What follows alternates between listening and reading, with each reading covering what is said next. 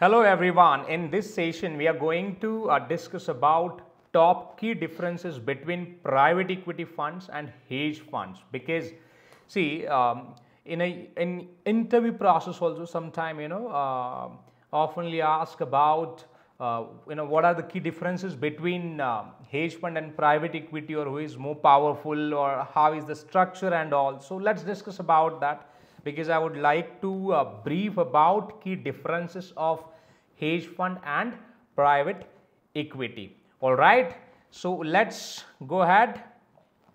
See the objective of this small session is we just want to uh, discuss about as I said the purpose of uh, this fund and their structures, horizon, capital, you know, structure, fee structure, means how is the fee structure that would be in private equity or again in hedge funds we will discuss that. And of course the target audiences would be for you know the different different funds and all. So let's go ahead. I i hope you would enjoy this small session all right? I'm not going to write anything on board so don't worry about it because in uh, uh, you know it right? So every time we write lots of things on board but this time we have a ppt so you can read it here only all right so if we talk about guys, see the first key difference between hedge fund and private equity. If we talk about investment time horizon, first let's let's talk about hedge funds. See, hedge funds typically have a short-term investments horizon ranging from second to of you know a few years, right? So uh, uh, from a second to to uh, from second to few years, it means see the uh, investments of you know um, the hedge fund should be in liquid assets. It could be equity bonds debentures or even you know the derivatives instruments and all because fund managers they can quickly buy it and even sell it out. So that's what you can say like that that uh, the duration would be from zero to uh, sorry uh, the you know the very second moment to few years. In that way you can you know understand it. And uh, see and the another reason is most of the traders like highly professional traders they have incorporated their funds. If i talk about renaissance or bridgewaters they are like uh, hedge fund you know traders and they have formed their uh, businesses also like you know the fund management businesses and now they have started raising funds and all all right?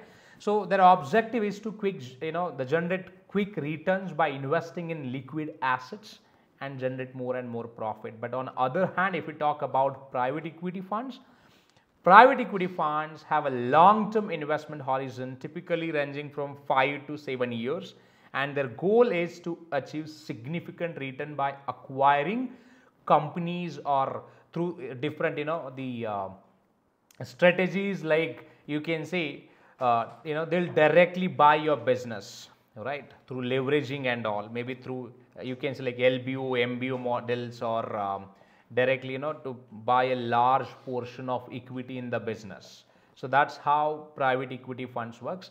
And in a private equity funds you cannot quickly execute trades. So it means most of the investment should be in an illiquid assets.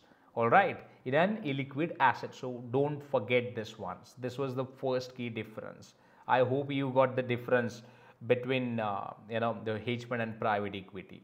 So the next one is in terms of capital investments. See, in a hedge funds typically require one-time capital commitment from investors and that they directly raise through subscription letter as per you know the predefined PPM private placement memorandum or pre-offering memorandum also that you can call. But if I talk about private equity, private equity funds on the other hand require investors to commit capital upfront. So it means first they sign commitment and but the funds are called over time as investments are made. So it means through capital calls investors can contribute capital to the funds and funds will deploy into the different you know the financial instruments right and here if you see the duration would be somewhere 3 to 5 years or maybe up to 10 years all right and even private equity uh, funds they they penalize to the uh,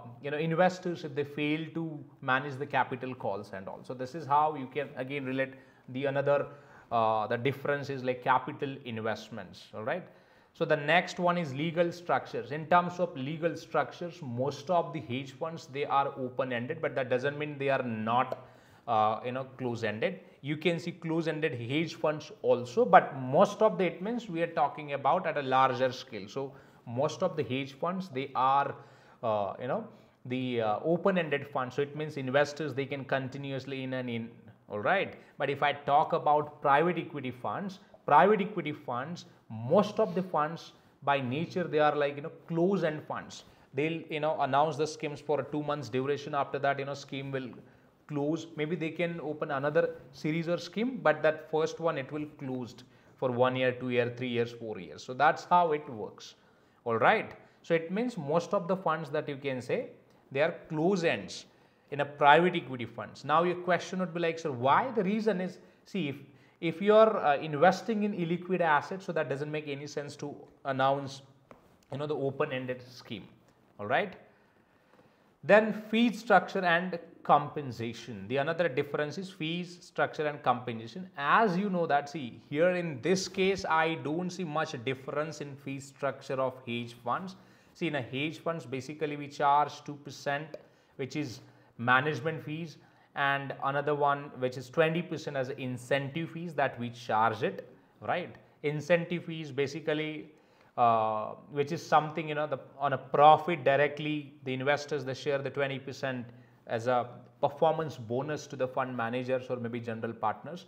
But uh, in a private equity, so if we see here 2% uh, fees which is management fees paid on uh, you know committed capital if the committed capital is, is you know let's say 1 million then on 1 million you can charge 2% and the other one is 20% directly the fund manager uh, uh, you know uh, the fund managers they charge as a a split or carry I would say as a 20% it is which is equivalent to the performance fees I would say but that works in a very different way in a private equity funds. Because in a private equity funds they calculate distributions they return the you know preferred return or uh, capital committed and all and then only they charge their basically 20% as a carry or a profit percentage. All right? This was the another big difference and here in terms of level of risk hedge funds generally have a higher risk profile due to their aggressive investment strategies such as leverage derivatives short selling that all comes under the high risk. So it means hedge funds are risky one. And if I talk about private equity, so private equity funds on the other hand generally have a lower risk profile if you compare with the hedge funds. The reason is most of the investments should be in illiquid assets. But guys, on, on a technical note, if you see most of the private equity funds are also they are like very risky because if they invest into startups, then that becomes more and more risky all right. Then in terms of taxes, hedge funds require the filing of Schedule K1 for each investor reporting, which includes income losses and dividends or uh, interest payments and all if they, you know, the hedge funds, if they have received. So, they'll update it in K1 form and, you know, file the taxes. All right. And if I talk about private equity funds, see uh, here also you can see like similarity between hedge funds and private equity, both file or require schedule K1 form, but this is for US market, but for other markets you may see different different forms. All right. However, private equity funds typically benefits from long-term capital gain tax rates due to extended holding period for investments. See guys, apart from this, if I talk about tax haven countries like Cayman Island, then uh, you know the most of the uh, the Cayman side or British Virgin Island or there are you know the UK side uh, you know the countries they offer huge tax exemption or tax benefits to the funds. So where you don't need to even file taxes as well. So you might see that also all right but in US you can see K1 form and tax filing but yes funds file taxes as well. So in next session I'll also show, uh, show you how you know that tax uh, form looks like. Don't worry about it. All right and let's conclude now. In a conclusion, if we talk about hedge fund, hedge funds are characterized by short-term, high-risk investments and flexible liquidity, making them a suitable choice for those seeking quick returns. And if I talk about private equity, private equity on the other hand involves long-term investments with a focus on enhancing company performance and achieving substantial returns through strategic management and operational improvement. All right. So, most of the private equity funds they target even public limited companies or debt burden companies or companies which are at a very growing stage. So, they infuse more capital and uh, multiply their wealth. So, that is how they invest. But anyways, if you like this session, please click on bell icon button and also update your feedback or comment as well. Alright, so we'll see you in another session on different topic and if you have any suggestions or topic, please provide your uh, provide your suggestions in comments. Definitely we'll pick up that and record that session for you. So thank you, thank you very much for watching this. We'll see you in next session. Thank you.